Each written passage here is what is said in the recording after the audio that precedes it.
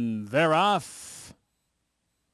And toward the inside, Teasalode breaks well, and so too does Comet Blue together. Farther onto the track, Toasted Dash Deluxe and Holy Grail. 16th to go. Tizalode has the lead, and Tizalode will hold on to win from Comet Blue together. Farther out there, Toasted Dash Deluxe, Holy Grail, and he's all jacked up in a photo for third, fourth, and fifth.